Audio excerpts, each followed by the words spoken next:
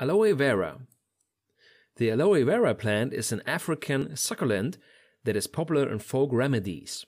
Today you can find aloe vera outside Africa, since it is a popular garden plant, especially in dry areas where gardens must be created with the climate in mind.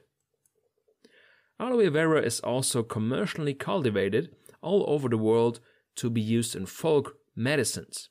Outside Africa, you will find the largest aloe vera farms in the Mediterranean region, the United States, the Caribbean, and Japan. An aloe vera plant will also do well indoors, but keep in mind that it can grow very large and need repotting. Aloe vera can also be used internally, but the scientific studies regarding its effects on a human body is still limited, and internal aloe vera treatments should therefore always be embarked on with caution. Discussing a treatment with a licensed medical professional is recommended. Internal aloe vera treatment is popular among patients suffering from heartburn, ulcers, diverticular disorders, and other digestive problems. It is suspected that the antibacterial property of the aloe vera is the cause of the relief reported by many patients. Where to buy aloe vera? Aloe vera is easily available online and across stores, supermarkets all over the world.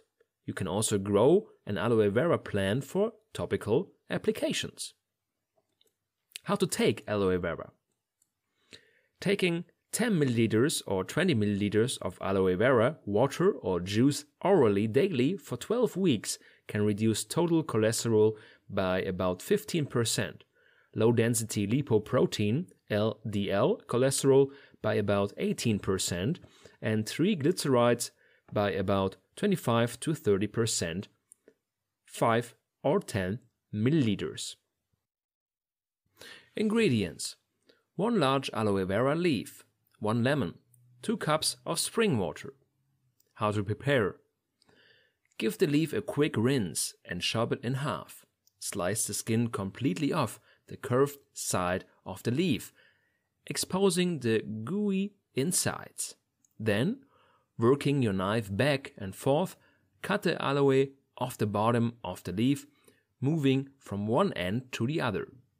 Cut your aloe into smaller pieces and insert into blender along with 2 cups of water and 1 lemon juiced. Blend on medium low for 30 to 45 seconds. Pour the aloe juice from the blender through a nut milk bag or cheesecloth to break up the sliminess of the aloe juice into a bowl with a pour sprout. Bottle the aloe juice in glass containers. Benefits It is amazing how aloe juice can help in speeding up metabolism, which in turn will promote proper digestion.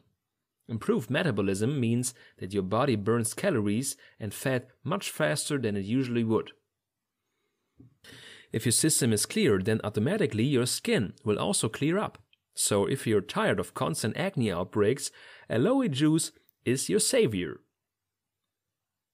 Precaution Taking aloe vera in high amounts is known to cause serious harm. It can cause abdominal cramps and bloody diarrhea.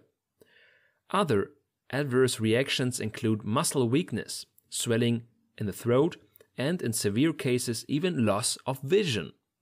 Other studies have shown how ingesting aloe vera might damage internal organs, and consuming large amounts of aloe for extended periods can also lead to kidney failure. Before you add this plant to your diet, you should speak to your healthcare provider to be sure aloe vera is safe for you.